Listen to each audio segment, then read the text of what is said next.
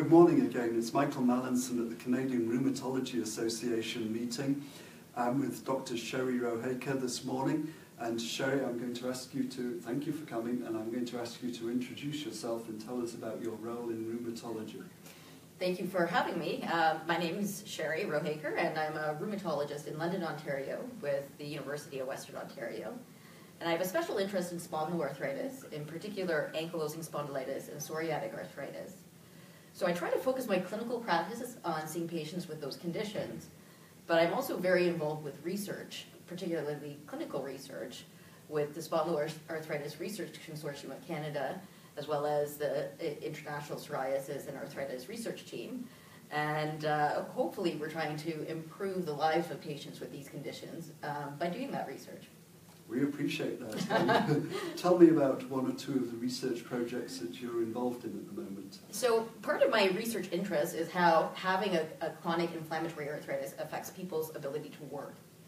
And there's been lots of data about people required to stop working or take an early retirement fr from work because their arthritis is affecting uh, how they can uh, perform at their jobs.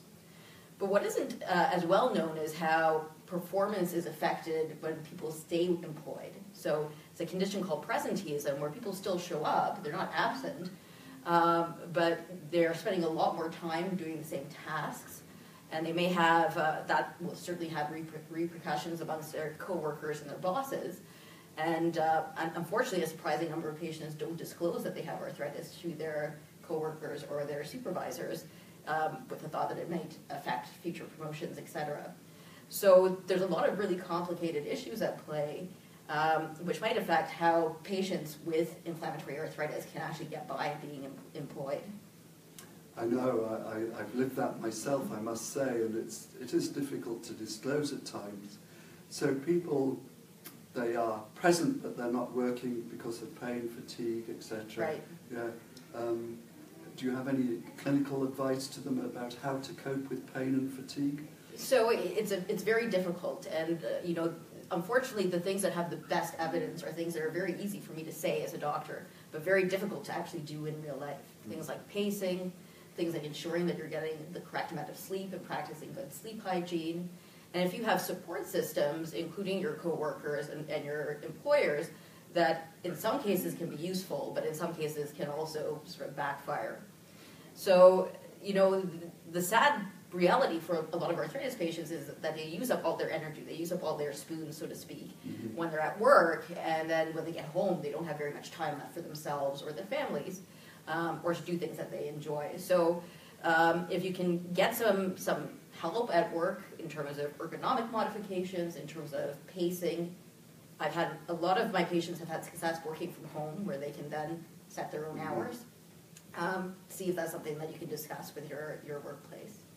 Do you prescribe exercise at all for your clients? I do indeed. Uh, yeah, I do indeed. And uh, actually, the CSA has come out with a, a wonderful booklet uh, mm-hmm. that goes through the uh, some exercises that patients can perform and throughout the day. And we often use physiotherapy and occupational therapy uh, as well to try and, and help people succeed in managing their arthritis with more than just medications. Yes. Uh, there was an excellent presentation here at the CRA about exercise as medicine. Yes. And um, quite surprising statistics about how exercise can reduce inflammation, reduce pain, reduce depression, etc. Yep. And, um, and improve quality of life. Improve quality of life. But yes. I'll just say for my patients, do as I say, don't do as I do. okay. Tell me a little about clinical practices. Uh, what are the challenges? You know, patients complain that they have 10 minutes when they see their rheumy every six months or 12 months or something. Tell me some of the challenges from the other side of the desk. It's, it's interesting because our patients have chronic disease, and we're fortunate to have patients who don't necessarily have high mortality from our diseases. They have lots and lots of morbidity in, in terms of things that affect their day-to-day -day lives. But that means as time passes, you accumulate larger and larger numbers of patients. So I've mm-hmm. actually had, you know, my clinic, which was initially three days a week, is now starting to spread out to more time. In a sense, if your rheumatologist is spending not that much time with you, it might be an indication that you're actually doing well. Um, because they, they, if you're stable, if you're taking your medication, getting your lab work done, and you're in a state of remission, I don't need to spend a lot, lot of time with you, which can be frustrating if you're driving from Owen Sound to London to see me, um, and, and you, you spend significantly longer getting there um, than actually talking to me. Is the people who aren't doing well, who are having complications, or who have other psychosocial issues that need to be discussed that end up taking a lot of time. And I just like to remind patients that if something like that happened to them and they weren't doing well, you know, they would be the person who I'm spending longer with and making other people late and in the waiting room. So we try to avoid it as, as much as possible, but uh, it does happen. Um, yes, I understand. And what about interprofessional relationships uh, uh, or partnerships, I should say, that uh, obviously you see patients with lots of comorbidities, cardiovascular Yeah. Uh, involvement, depression is another one, uh, they may have eye problems, skin problems, etc. How does that work? Is there a model care in place, or is it sort of just informally referring them onto another profession? It, it's informal at the current time, but we are trying to make some strides to make it a little bit more formalized. So there are particular, we know that there's a dermatologist that's specifically interested in psoriatic arthritis in our town, and we know that particular GI specialists are interested in inflammatory bowel disease. And we are trying to have some joint meetings and conferences with those people so that we can improve the understanding between the specialties. Um, for other conditions, we've been able to have some joint clinics. So, for example, at, uh, at the University of Western Ontario, you can have a joint uh, rheumatology renal clinic uh, for vasculitis patients. Mhm. But um, given uh, you know the time constraints on dermatologists, ophthalmologists, and GI specialties, it's a little harder to do uh, for the seronegative stuff, unfortunately. That's great information, thank you. Do we have any questions from the audience, uh, Anita? Uh, so you mentioned uh, someone wanted to know what exactly is uh, psychosocial and what are the psychosocial factors that may affect a patient's outcome. Fair enough. And you know, when we when we talk about people with arthritis, they're not just a bag of joints, right? It's how that arthritis is affecting them and how they interact with their family. And, and a lot of people, when they come in and see me, they'll they'll express that they they have this fear that their family doesn't quite get what they're experiencing. It's not like they're walking around with a cast or they have a big scar from their surgery. To many people from the outside, they look completely normal. Um, so, you know, people get into conflict with their spouses. You know, I've heard, heard people say their spouse thinks that they're lazy. I've heard people say that their, their children think that they're lazy and just not making enough of an effort. And that can be, that can really destroy those relationships. And there's even cases where things like the depression starts affecting uh, all of the interpersonal relationships. And when people have depression, they become less likely to do well with their arthritis, and it can cycle into itself. So you get poor sleep, which increases pain, and so on and so forth.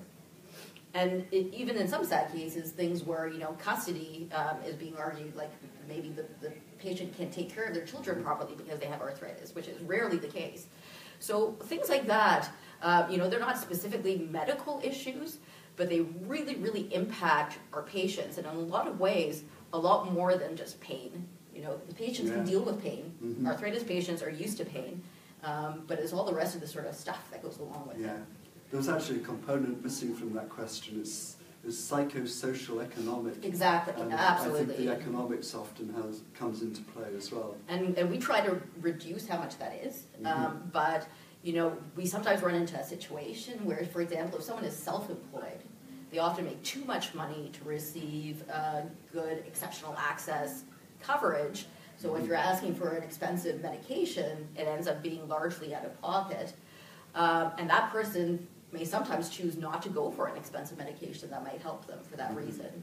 Um, fortunately, we have, in, at least in our region, we have um, actually very compassionate pharmaceutical companies that will often give um, access to those medications on a case by case basis. But it, it certainly can affect uh, that.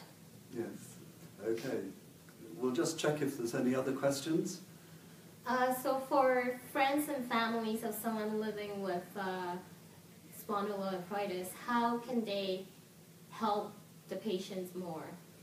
So the, the best thing is to try and help with pacing and try to help with stress reduction. Um, and just having that acknowledgement that even when someone seems like they're having a good day, there is this underlying inflammation, fatigue, stress on the body. Um, and patience, I think, is the, is the key thing as well. Patience for patients. Patience for patience. I, I would agree, yes, yes. It's good to have that support network there in the family and understanding it. And Sherry was kind enough to mention the Canadian Spondylitis Association's AS guidebook, which has a couple of um, paragraphs in there for family and for employers. So, Sherry, that was wonderful, great information. Thank you for coming in and giving us your Thank time. you for having Thank me. you.